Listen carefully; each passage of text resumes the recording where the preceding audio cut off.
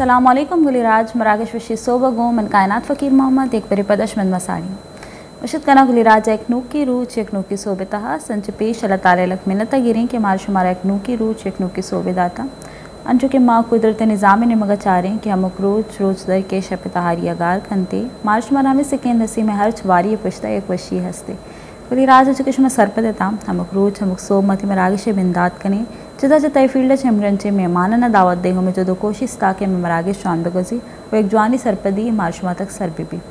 माँ चुना गेंदे कि मैं यूथ जिताई पेड़ा कैसे देवा, रवानी और वती जोहदा कन गई कि आप मैं वलूच राज कैसे, सुमंदी निमगा कैसे, सर बेकनते हमें आतरा गपत्रान कनगे हातरा यूत हवाले आयनी कैस्ती कारणी हवाले या आयनी जोहद हवाले कपुत्रान कनगे आतरा मैदावती कैस्ते नौजवान दावत दाते हैं। अवली के मेहमान मैगुमा साड़ियंत उजैरयान जस्ते वाजा वशत कन थी मराशिता के का बाहर जोरता और वाजह हमरा तारी गए। राना सुल्तान वाजह हम वशत कन थी मराशिता के का बाहर जोरता वाजह जैसे ताल्लुक लाहौर अच्छे हँसते, और जिताएँगे हँसते पेड़ाची ताल्लुकदारी थी स्पेशली कैसे राइटिंग के हवाले भी राइटर हम हँसते और जिताएँ कैसे पेड़े हवाले वाजे घुमा वाजे ही जस्त करें।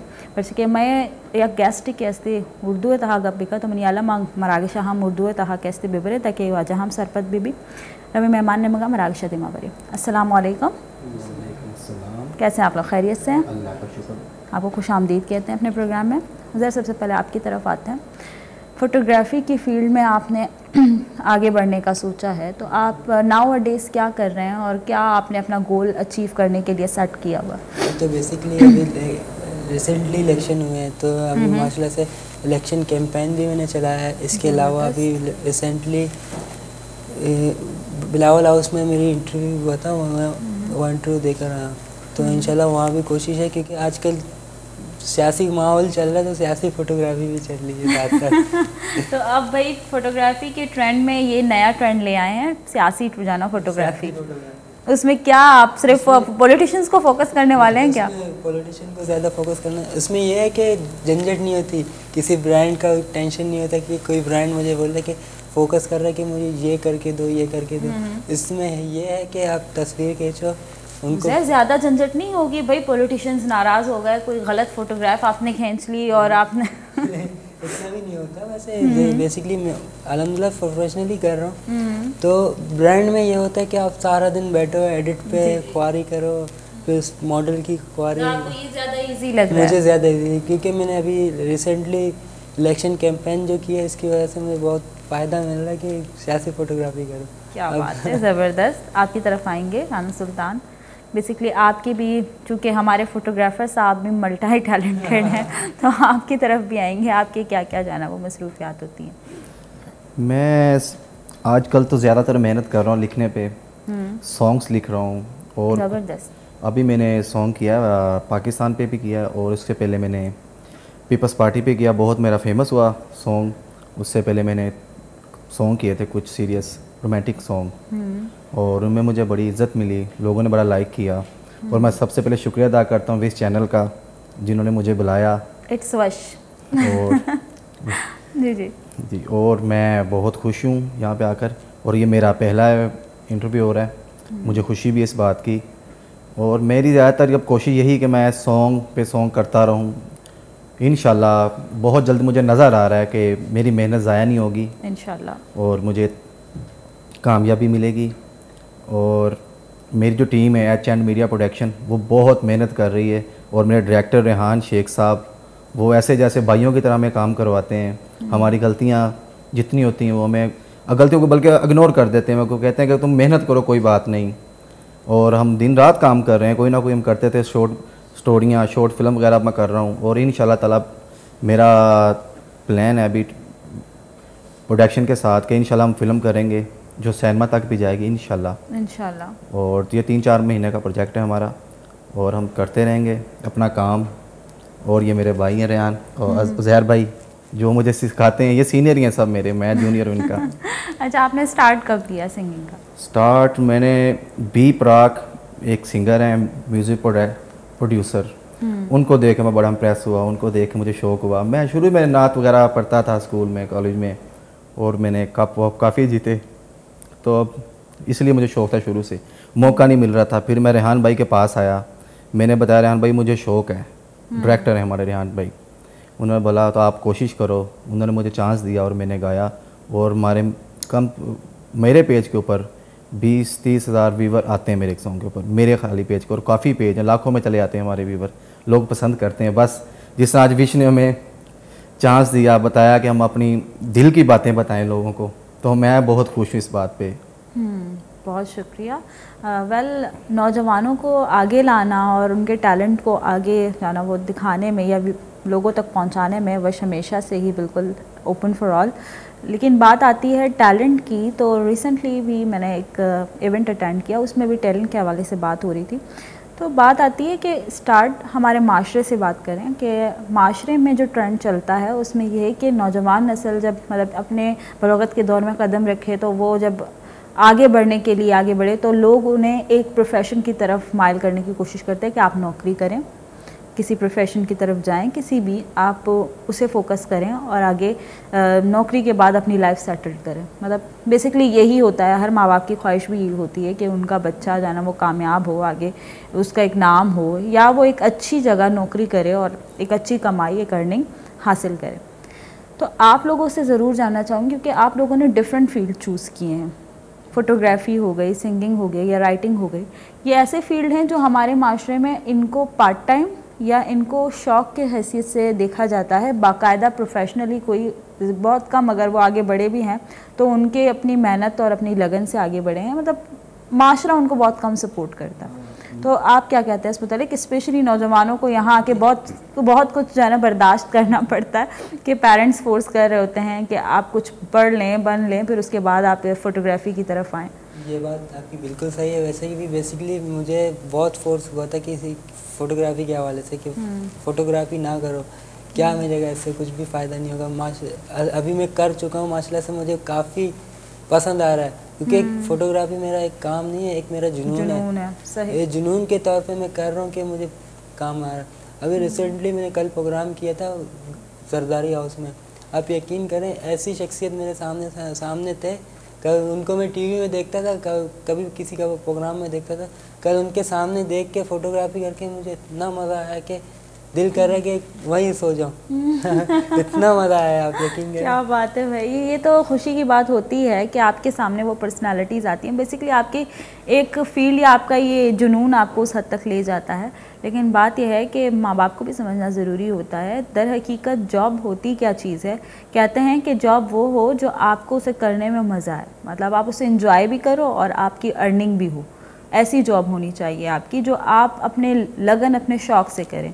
बाकी कहा, मशीन भी वैसे भी हुक्म के हिसाब से चलती है तो अगर इंसान उसी हिसाब से सिर्फ़ अपने आप को मतलब अर्निंग की मशीन बना ले तो फिर वो बात नहीं होती, उसके अंदर वो जज्बा नहीं होता, वो हर चीज़ से उकताया हुआ होता है। आप देख सकते हैं, जिनको नौकरी मतलब बाय फोर्स करनी पड़ रही है, वो बिल्कुल अपनी ज़िंदगी को एंजॉय नहीं करते और वो मतलब गुजार रहे होते हैं लाइक बस दिन गुजर जाएँ। लेकिन जहाँ आपके शौक़ और लगन की बात आती है जिनको जुनून है अपने प्रोफेशन से मोहब्बत है वो बहुत कामयाब होते हैं। कोई भी शख्स हो चाहे वो teacher doctor engineer singer actor किसी भी फ़ील्ड में क्यों ना हो वो अगर अपनी फ़ील्ड में अपना हंड्रेड परसेंट देता है सिंसेरिटी के साथ तो वो ज़रूर कामयाब होता है। तो आपकी तरफ़ आते हैं आपकी फैमिली का सपोर्ट कैसा रहा चूँकि आपने सिंगिंग की तरफ़ जाना चाहा?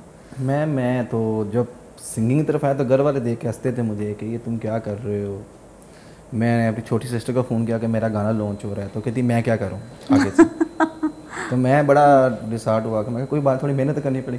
फिर मैंने अपने भांजे को बोला मैं कहा यार मेरा सॉन्ग आ रहा है। उसने भी सीरियस लिया क्योंकि मैं बहुत प्यार करता हूँ अपनी फैमिली से।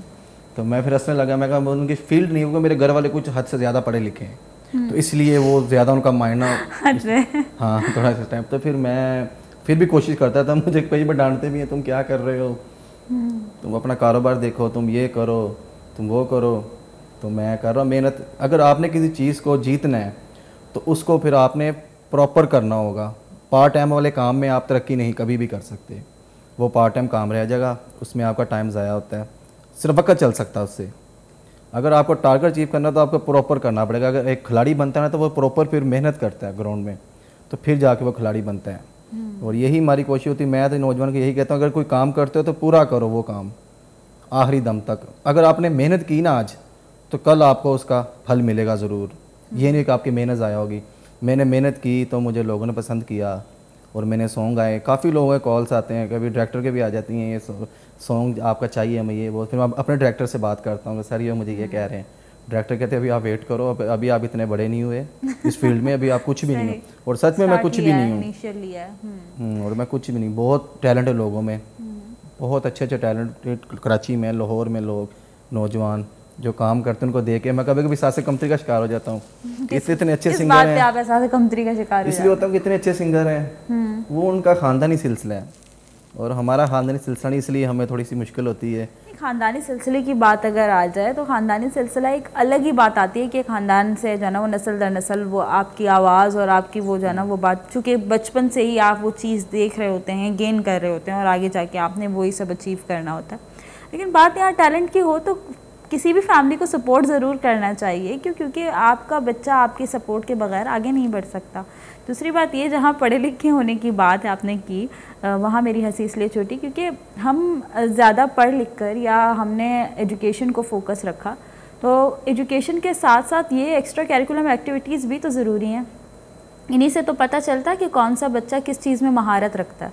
कौन किस बच्चे में कितना टैलेंट है और कौन सा बच्चा किस फ़ील्ड की तरफ़ जाना चाहता है ये सारी चीज़ें एक्स्ट्रा कैरिकुलम एक्टिविटीज़ में काउंट क्यों की जाती हैं? वो इसलिए कि आपके सिलेबस के साथ साथ आपका जो आप, आपके अंदर हिडन टैलेंट है वो भी सामने आए। वो भी फ्रंट पे आए ताकि आप अपनी फ़ील्ड को पहचान सकें। आप उसके जो ना वो एक बात मुझे आपकी बहुत अच्छी लगी आपने कहा हंड्रेड परसेंट देने पे जाना वो बंदा कामयाब ज़रूर होता है। यूँ तो हमारे सामने बहुत सी मिसालें हैं जितने सिंगर्स हैं या जितने एक्टर्स हैं अगर उन्होंने हिम्मत हार ली होती माशरे की बातों में आकर वो छोड़ देते अपनी प्रैक्टिस वो छोड़ देते सब कुछ तो क्या आगे जाकर वो आज हमें कामयाब नज़र आते या दूसरों के लिए रोल मॉडल नज़र आते? अच्छा आपकी तरफ़ आऊँगी। फ़ोटोग्राफ़ी की फ़ील्ड बहुत वसी है।